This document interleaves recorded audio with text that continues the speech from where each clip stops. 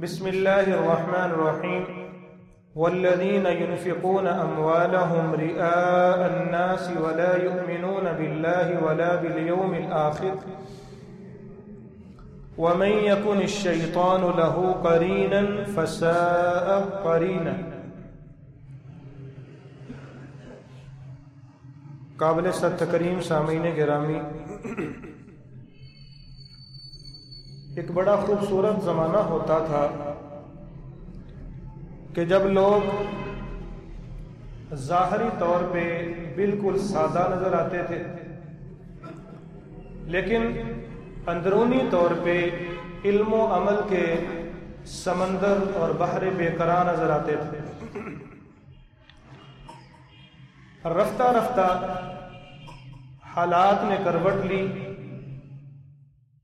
और social media का दौर आया और हम भी नित नए कामों के अंदर मशगूल हो गए। हालात इस नहद पे पहुँच चुके हैं कि हम में से तकरीबन हर बंदा कहीं ना कहीं इस बात का ख्वाहिशमंद होता है कि ये जो काम मैं करने जा रहा हूँ या जो मैं काम कर रहा हूँ ये लोगों को पता चलना चाहिए। और ये काम कोई दुनियावी काम नहीं, मैं ज़िक्र कर रहा, बल्कि इबादत का भी यही हाल है। हती के बड़े लोगों को हम देखते हैं। हज और उम्र जैसी अजीम इबादत भी करने जाते हैं। तो वहाँ पे गुलाफ काबा के करीब खड़े होके तस्वीर बनाई जाती हैं, सोशल मीडिया की जीनत बनाई जाती अल्लाह ताला से दुआ करनी चाहिए कि रब ताला हमें ज़ाहरी और बातनी तौर पे मुखलिस और इखलास वाला मुसलमान बना दे। आज के खुतबा जुमा के अंदर हम रियाकारी के बारे में, शरीयत के क्या अहकाम मसाइल हैं, इनके बारे में हम इनशाला कुछ ना कुछ सबक सुनने सुनाने की कोशिश करेंगे। रियाकारी क्या है?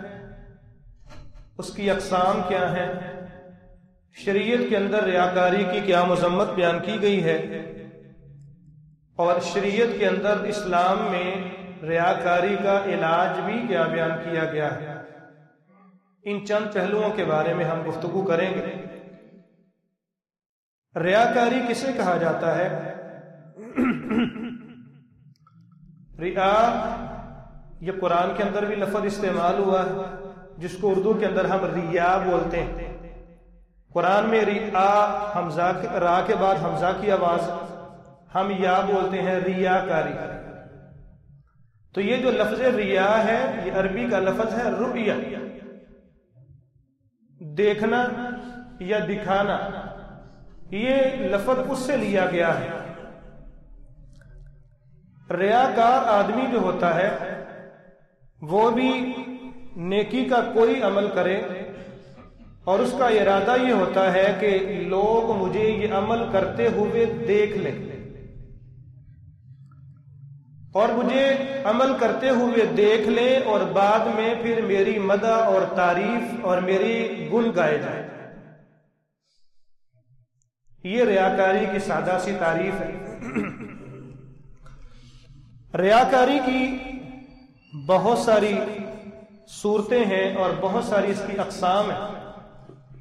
लेकिन मैं उन अकसाम को बयान करने से पहले उन अकसाम के अंदर मजीद वज़न पैदा करने के लिए अल्लाह के रसूल सल्लल्लाहु अलैहि वसल्लम का एक फरमान आपके कानों तक पहुंचाना चाहता हूँ। ये हदीस तवज्जो से सुने और उसके बाद जो रियाकारी की अकसाम बयान करेंगे, उनको उससे भी ज़्यादा तवज्जो से सुनने की ज़रूरत है। सिहाबी रसूल जनाब माकल बिन यसार रज़ी अल्लाह तु कहते हैं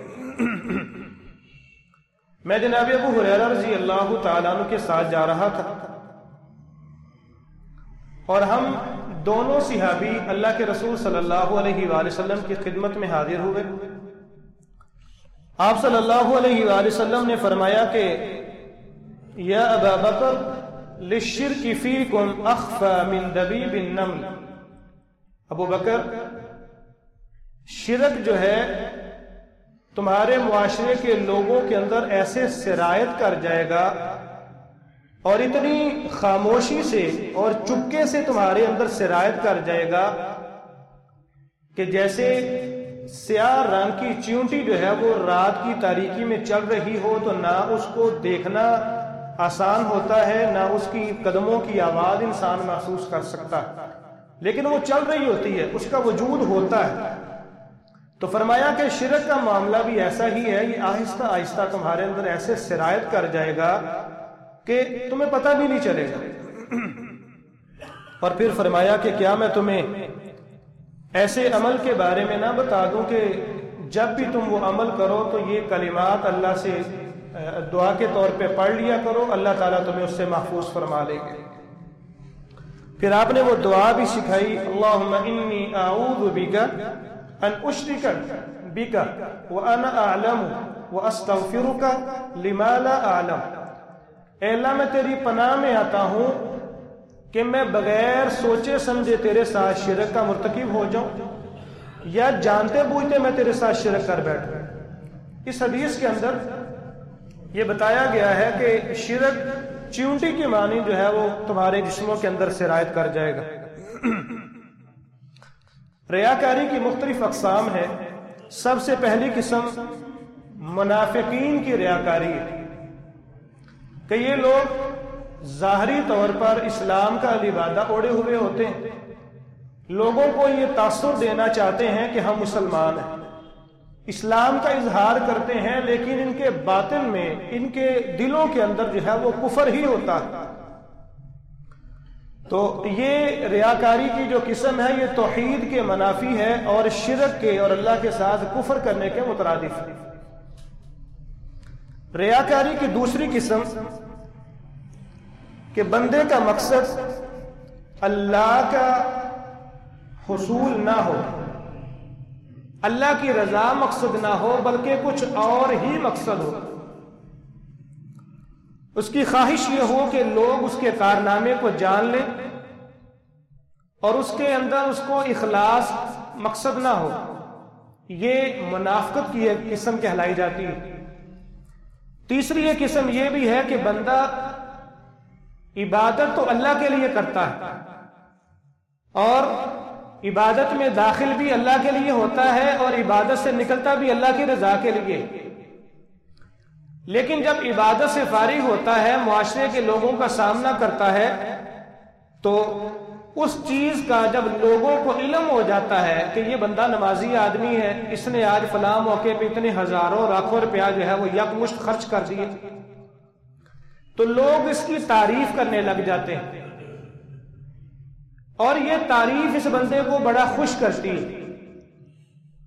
और ये चाह रहा होता है कि ऐसी तारीफ़ जारी रहे और आइंदा भी जब मैं कोई अमल करूँ तो लोग मेरी ये तारीफ़ करते रहे। ये भी रियाकारी की एक किस्म है। ये पोशीदा रियाकारी पर दलालत करती है। अभी मजीद इससे ज़्यादा संगीन बातें आएँगी और हो सकता है कि कहीं ना कहीं उसका मैं और आप शिकार हो। चौथी किस्म रियाकारी की जिस्मानी रियाकारी भी है। इंसान अपने चेहरे की जर्दी रंग फक है, उड़ा हुआ रंग है। चेहरे पे कोई रौनक नहीं है, कोई लालियाँ नहीं है। जिसम की कमज़ोरी से या अपनी आवाज़ ऐसी मरियल से निकालता है, होंठों की खुश्की, ये बावर करवाने की कोशिश करता है कि ये बड़ा खाकसार आदमी इसके अंदर बड़ा तोज़ो पाया जाता है और ये बड़ा, इसको आखिरत की फ़िक्र लगी हुई है, बड़ा रोज़े रखने वाला आदमी है। देखे इसके होठ खुश्क हो रहे हैं। इसकी जो भूख की वजह से आवाज़ नहीं निकल रही। तो ये जानबूझ के इस तरह का तासुर देने की कोशिश करता। है पांचवी रियाकारी की किस्म लिबास की रियाकारी भी है। लिबास या अपनी दीगर जो वजह कता के अंदर मामला आते हैं, उनके अंदर भी बस अवकात इंसान रियाकारी का शिकार हो जाता है। कि कोई शख्स पेवम लगे हुए कपड़े पहनता है या अपना ऐसा हुलिया बना लेता है जो खास मशाइ और मुफ्तियान इजाम का हुलिया होता है। लिबास ऐसा जेबतन करता है जो उलामा और मशाइ के शयान शान है। और ये जहन में वजह सिर्फ़ ये होती है कि लोग मेरे लिबास, मेरी वजाकता से धोखा धोखा खा जाएँ और मुझे मेरे जाहरी हुलिये की वजह से मेरे लिबास की वजह से लोग मुझे भी ये समझे कि बड़ा आलिम है, मुत्तकी है, बड़ा शेखुल हदीस आदमी। ये वजाकता का जो है वो रियाकारी कहलाती। छठी किस्म कौली रियाकारी, गुफ्तगु के ज़रिए से भी इन रियाकारी का शिकार हो जाता है। इंसान वाजो नसीहत करते हुए, शरी मसाइल के अंदर बहस मुबासा तकरार करते हुए या मनाजरा और इलम के इजहार के लिए बड़ी कुरान की आयतें पढ़े, बड़ी हदीस पढ़े, सिहाबा के बड़े बड़े अकवाल और बड़े बड़े आसार बयान करे। मकसद क्या है? लोगों पे इलम जानना मकसद है। लोगों को यह बताना मकसद है कि मैं बड़ा अल्लामा अपने इलम का इजहार करना चाह रहा है। लोगों की सलाह के लिए इलम बयान करना मना नहीं है। लेकिन नीयत के अंदर जब खराबी आ जाए और लोगों को यह बावर करवाना मकसद हो कि मैं बहुत बड़ा अल्लामा हूँ शेख इस्लाम हूँ, और प्रोफेसर और ये वो मेरे साथ खसूसियात मुतसिफ है तो समझ लें कि ये आदमी कौली तौर पर अपनी ज़ुबान की वजह से रियाकारी के अंदर मुबतला हो चुका है। और ये जो किस्म है, ये अमूमन दीनदार लोगों में उलमा और खुतबा के अंदर पाई जाती है। सातवीं किस्म अमली रियाकारी है। इंसान दिखावे के लिए नमाज़ पढ़ता है। रकू और सजूद और क्याम महद इसलिए लंबे लंबे करता है कि करीब बैठे हुए लोग देखें और उनको पता चले कि ये बड़ा नेक पासा आदमी है, बड़ा अल्लाह से डरने वाला है, बड़ी लंबी लंबी नमाजें पढ़ता है। आठवीं किस्म यह है कि बसौकात इंसान लोगों के दरमियान बैठा होता है। अपनी ज़ुबान से या कोई ऐसी बात करेगा कि लोग उसकी बुराई बयान करें। लोग उसकी मजम्मत बयान करें। और वो लोगों के ज़रिए से अपनी मजम्मत करवा के रियाकारी चाहता है। कैसे? लोगों को यह दिखाना मकसद हो कि ये बड़ा मुतवाज आदमी, बड़ा खाकसार है। कोई उसको कुछ कह भी ले तो ये आगे से चू नहीं करता। किसी को रोकता टोकता नहीं। ताकि लोगों के नज़दीक मेरा मुकाम बढ़ जाए। लोग ये समझे कि ये बड़ा जो है वो खामोश तब आदमी है, कुछ नहीं कहता, इसको बड़े लोगों ने बातें की, लेकिन खामोश रहता है। और लोग फिर उसकी खामोशी की वजह से जब लोगों में उसका तस्करा आम होने लगे तो लोग उसकी मदा बयान करने लगे, तारीफ़ करने लगे। ये रियाकारी की इंतहाई बारीक अकसाम है। और इसका जानना पहचानना सिर्फ़ अल्लाह की जात जान सकती है, या वो बंदा जिसको जिन कामों के अंदर ये मुलविस है। बाकी नीयतों पे फैसले हैं, नीयत अल्लाह जानते हैं कि कौन किसकी बेहतर है, कौन अल्लाह के लिए अमल करता है और कौन जो है वो गैरुल्लाह के लिए कर रहा है। नौवीं और आखिरी किस्म, प्यारे भाइयों, ये है कि इंसान अपनी नेकी तो छुपाए, लेकिन इसके बावजूद जब लोग उसकी तारीफ़ बयान करें, लोगों को देखें तो उसकी ख्वाहिश ये हो कि लोग आगे बढ़ के मुझसे सलाम करें, मुझसे मेल मिलाप करें। मुझे पहल ना करनी पड़े, बल्कि लोग बड़े एहतरामन मेरे सामने झुकने लग जाएँ। और अगर मैं किसी जगह पे कोई चीज़ खरीदने जाऊँ तो खरीदो फरोख्त में लोग मेरे जात की वजह से मेरे साथ नरमी का बर्ताव करें। और अगर लोग ऐसा ना करें तो ये शख्स अपने दिल के अंदर रंज महसूस करता है, गम महसूस करता है, बड़ा गुस्सा इसको आता है कि इन्होंने मेरी जालमों ने कदर ही नहीं की। तो प्यारे भाइयों, ज़रूरी नहीं है कि जो बंदा इन कामों में मुलविस है, वो हर बंदा रियाकार है। ये सारे फैसले इंसान की नीयत पे हैं। नीयत इंसान की क्या है? अगर इनमें से कहीं ना कहीं इंसान की नीयत लोगों की रजामंदी और लोगों को राज़ी करना है तो फिर वो बंदा रियाकार है। लेकिन अगर वो मकसद अल्लाह की रजा के लिए कर रहा है तो फिर वो काबिल मजम्मत नहीं है, बल्कि काबिल तारीफ़ है। रियाकारी की मजम्मत को बयान करते हुए रसूलुल्लाह ने अपनी उम्मत के बारे में सबसे ज़्यादा खौफ महसूस किया। और किसी अमल के बारे में इस कदर आपने खौफ का इजहार नहीं किया, जितना ज़्यादा रियाकारी के बारे में आपने खौफ का इजहार किया। महमूद बिन लबीद रज़ी अल्लाह तु बयान करते हैं। अल्लाह के रसूल सल्लल्लाहु अलैहि वसल्लम ने फरमाया कि इन अखवफ मा अखाफ असगर।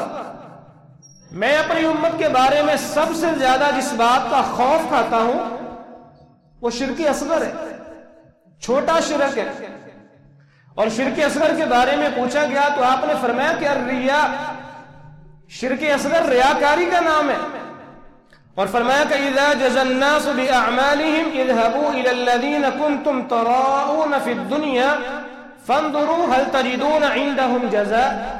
कयामत के दिन जब लोगों के आमाल को तोला जाएगा, नेकियाँ और बुराइयाँ सामने होंगी। अल्लाह ताला लोगों के आमाल और इखलास की बदौलत लोगों को जजा और सजा दे रहे होंगे। तो रियाकार लोग जब अल्लाह के सामने आएँगे तो रब ताला उनको फरमाएँगे कि उन लोगों के पास जाओ, दुनिया के अंदर जिनको दिखाने के लिए तुमने ये फला फला नेक अमाल किए, मेरी रजा के लिए तो तुमने ये नेकी की नहीं है। लिहाजा मेरे पास तुम्हारे लिए कोई नेकी का बदला नहीं। और रियाकारी करना यह मुसलमान का शेवा नहीं है यह मुनाफिकों की अलामत बयान की गई। कुरान मजीद में रब ताला फरमाते हैं इन मुनाफिकीन मुनाफिकों का हाल यह है कि ये अल्लाह को धोखा देना चाहते हैं। हालाँकि ये पगले खुद धोखे का शिकार है।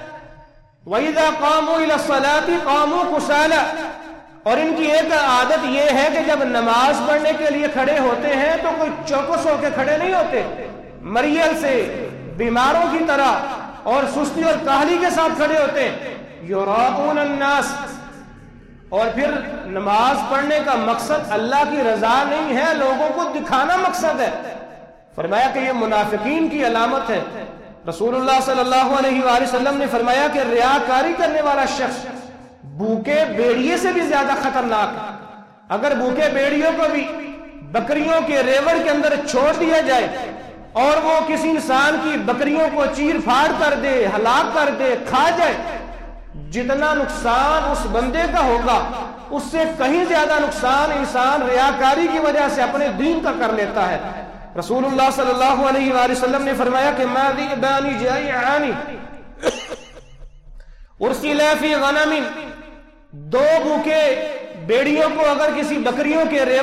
छोड़ दिया जाए बकरियों को खा जाए, हलाक कर दे, खत्म कर दे तो फरमाया कि उनका फसाद और उनका नुकसान ज़्यादा नहीं है। ज़्यादा नुकसान उस बंदे का है जो अमल करता है और अल्लाह की रजा मकसद नहीं है, लोगों को दिखाने के लिए, रियाकारी करने के लिए करता है। तो फरमाया कि ये आदमी अपने दीन का सबसे ज़्यादा बिगाड़ कर रहा है। और रियाकारी जो है, ये सिर्फ़ भूखे बेड़िए की मानद नहीं है, अगर इंसान इस पर हमेशगी करता रहता है, हर काम रियाकारी की वजह से करता है। तो याद रखें कि रियाकारी करने की वजह से इंसान के अमाल बर्बाद हो जाते हैं। रसूलुल्लाह ने फरमाया, रब ताला फरमाते हैं मैं शिरक करने वाले के शिरक से बेजार मन अमिल अमलन अशरक फ़ी मई जो आदमी कोई ऐसा अमल करता है कि उस काम को करने में मेरे साथ किसी और को शरीक ठहराता है। रियाकारी करने वाला आदमी का मकसद अल्लाह की रजा नहीं होता। बल्कि वो खड़ा तो मस्जिद में होता है पहली सफ में होता है। नमाज़ किबले की जानी मुँह करके पढ़ रहा होता है। लेकिन उसका मकसद ये होता है कि लोगों को राज़ी किया जाए। लोगों के लिए जो है वो नमाज़ बड़ी खूबसूरत अदा करता है। रसूलुल्लाह सल्लल्लाहु अलैहि वसल्लम ने फरमाया कि रब ताला फरमाते हैं कि तरक तो हूँ व शिरका, ऐसे आदमी के अमाल को और उसकी ज़ात को मैं उसके हाल पे छोड़ देता हूँ और उसके अमाल अल्लाह ताला कबूल नहीं फरमाता। दूसरी एक रिवाज के अल्फाज ये भी हैं कि जो आदमी इस पर हमेशगी करता रहता है, उसकी ज़िंदगी के अल्लाह नेक अमाल को बर्बाद फरमा देते हैं। हमें भी अपने आप का मुहासबा करना चाहिए कि कहाँ कहाँ हमारे अंदर रियाकारी का असर मौजूद है। रियाकारी की खातर अगर इंसान इलम हासिल कर लेता है, और मिम्बरों में हरा पे बड़ी गर्ज चमक भी है लोगों के सामने बड़े बड़े दलाइल पेश करता है, अपने इलम का इजहार करता है।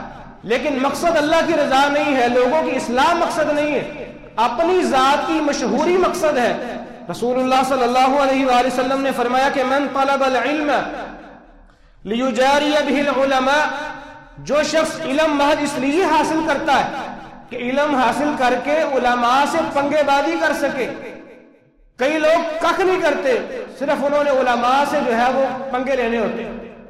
मुकाबलाबाजी करने के लिए, बहस मुबासा करने के लिए, और बहस करने का मकसद भी अपनी आलिम की सलाह नहीं होता, सिर्फ़ अपने इलम का इजहार होता है। फरमाया या वो लोगों को अपने इलम के ज़रिए से बेवकूफ़ बना सके, या बेवकूफ़ लोगों को अपने इलम के साथ उनके साथ मुनाजरा और झगड़ा कर सके नास। या अपने इलम की दाग बिठा के लोगों की तवज्जो हासिल करना चाहे। लोगों से माल और ओहदा और मनसब हासिल करना चाहे। रसूलुल्लाह सल्लल्लाहु ने फरमाया कि अगर वो बगैर तौबा के मर जाता है और अपनी सलाह नहीं करता अदखलार कयामत के दिन रब ऐसे आदमी को जहन्नुम रसीद फरमा दे। रियाकारी करना दज्जाल के फितने से ज़्यादा खतरनाक काम है। दज्जाल के फितने से ज़्यादा खतरनाक अमल है। अबू सईद खुदरी रज़ी अल्लाह तला बयान करते हैं, हम बैठे हुए थे और मुख्तलिफ़ मौजूद पे गुफ्तो शनीर जारी थी। अल्लाह के रसूल सल्लल्लाहु अलैहि वसल्लम हमारे पास तशरीफ़ लाए और आपने फरमाया कि अल्लाह बिमा हुआ अखवफ अलैकुम इंदी मिनल मसीह दज्जाल मेरे सिहाबा, क्या मैं तुम्हें ऐसे काम के बारे में ना बताऊँ? ऐसे अमल के बारे में तुम्हें आगाही ना दो? जो मेरे नज़दीक दज्जाल के फितने से भी ज़्यादा संगीन काम है। सिहाबा कहने लगे कि, बला या रसूल अल्लाह अल्लाह के नबी ज़रूर बताइए कौन सा ऐसा फितना है, कौन सा ऐसा गुनाह है जो दज्जाल से भी ज़्यादा संगीन है? आप सल्लल्लाहु अलैहि वसल्लम ने फरमाया कि अशिरकुल खफी, पोशीदा शिरक जो है, ये दज्जाल से भी ज़्यादा संगीन है। और फिर आपने आगे उसकी तारीफ़ बयान कर दी यकूम रजुल युसल्ली फयुज़य्यिरु सलातहु लिमा यरा मिन नज़र रजुल फरमाया कि एक आदमी खड़े होकर नमाज़ पढ़ता है और अपनी नमाज़ को महज इसलिए खूबसूरत करता है ताकि लोग उसको अच्छा समझे, नमाजी ख्याल करें और ये समझे कि हमारी मस्जिद के जो इमाम और खतीब है और हमारी मस्जिद का जो मस्जिद है या मस्जिद की सफ़ाई करने वाला है, बड़ी लंबी नमाज़ पढ़ता, बड़ी इसके अंदर लिल्लाहियत पाई जाती, बड़ा अल्लाह से डरने वाला है। तो फरमाया कि ऐसा आदमी दज्जाल से ज़्यादा संगीन फितने के अंदर मुबतला हो चुका है।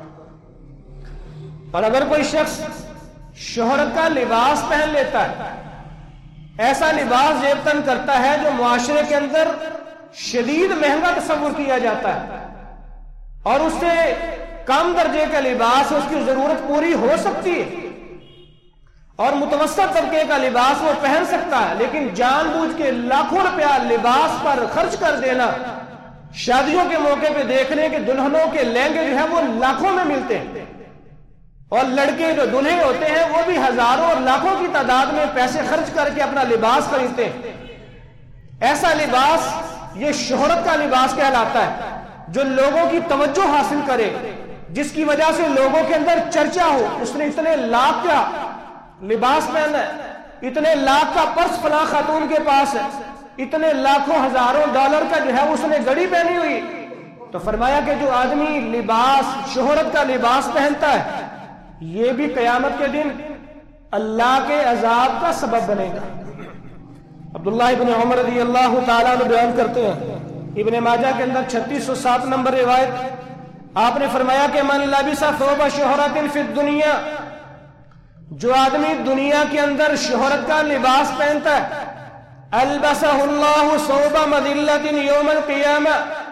कयामत के दिन रब्बुल आलमीन इसको जिल्लत का लिबास पहनाएँगे।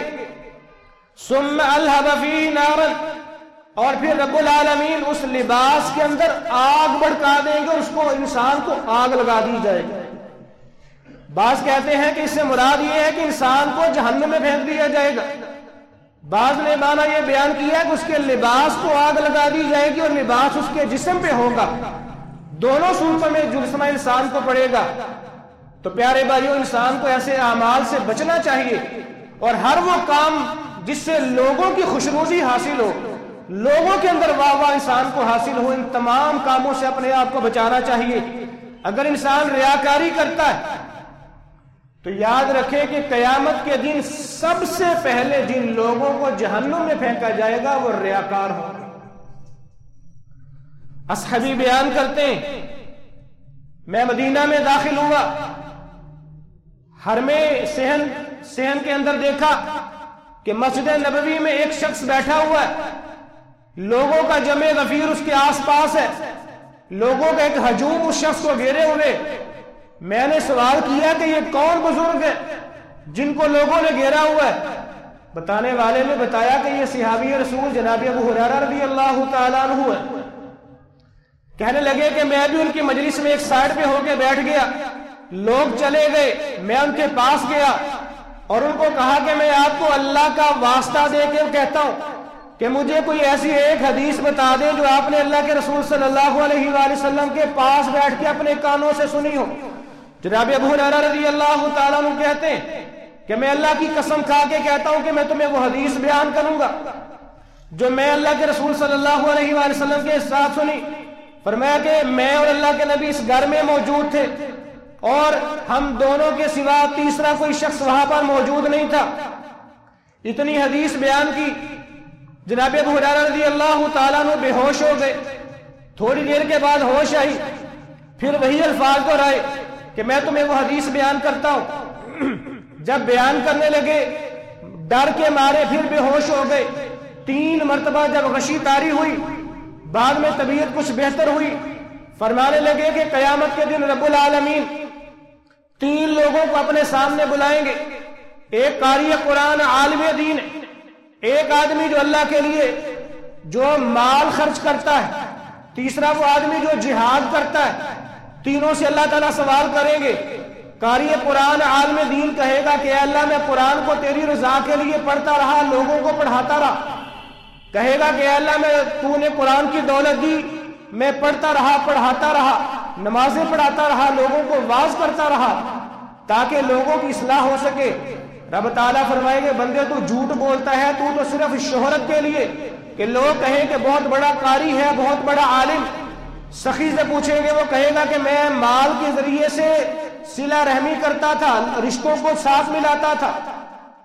रब ताला फरमाएँगे, तेरा मकसद भी रियाकारी था, ताकि लोग कहें कि बड़ा बेदरेग माल खर्च करता है। एक मुजाहिद को बुलाया जाएगा, उससे पूछा जाएगा, तुझे मैंने कुत दी, ताकत दी इसबाब दिए, बेहतरीन जवानी दी, कहाँ खपाई?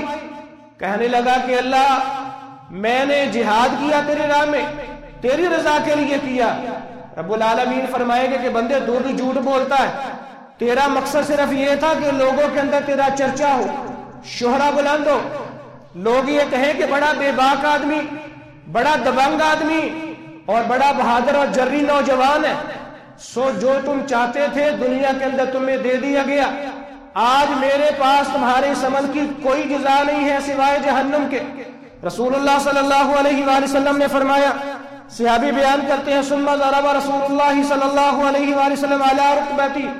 फिर अल्लाह के नबी ने मेरी रान पे हाथ मारा और फरमाया कि या अबा हुरैरा उलाइका सलासा अव्वल खल्किल्लाहि तुसाअरु बिहिमुन नारु यौमल क़ियामह अबू हुरैरा अल्लाह की कसम ये तीन बदनसीब वो लोग हैं अल्लाह की मखलूक में सबसे पहले जहन्नुम की आग को जिनके ज़रिए से भड़काया जाएगा वो ये तीन लोग होंगे रब ताला से दुआ है कि खालिक मालिक हमारे अंदर इखलास पैदा फरमाए रबालमीन हमें रियाकारी से महफूज फरमाए व आखिर दावाना अलहमदिल्ला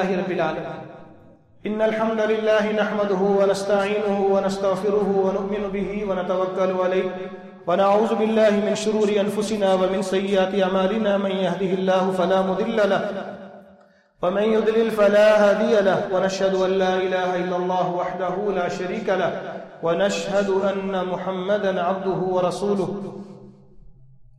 रियाकारी का इलाज क्या है। सबसे पहला इलाज ये है कि इंसान अपने नेक अमाल को जितना ज़्यादा छुपा सके उसको छुपाना चाहिए। लोगों के सामने सोशल मीडिया की जीनत नहीं बनाना चाहिए।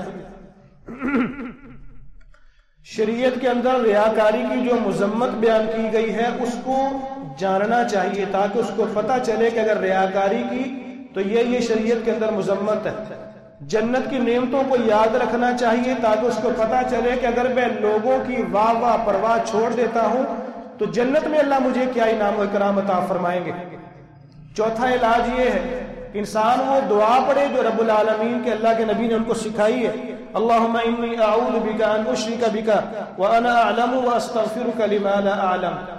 छठा इलाज प्यारे भाइयों ये है कि इंसान लोगों की मुजम्मत करने से और लोगों की तारीफ़ करने की परवाह छोड़ दे। ये छोड़ दे इंसान के, लोग क्या कहेंगे? बुरा कहते हैं या अच्छा कहते हैं? लोग राज़ी नहीं होंगे आपसे। आपने सिर्फ़ रब्बुल आलमीन को राज़ी करना है।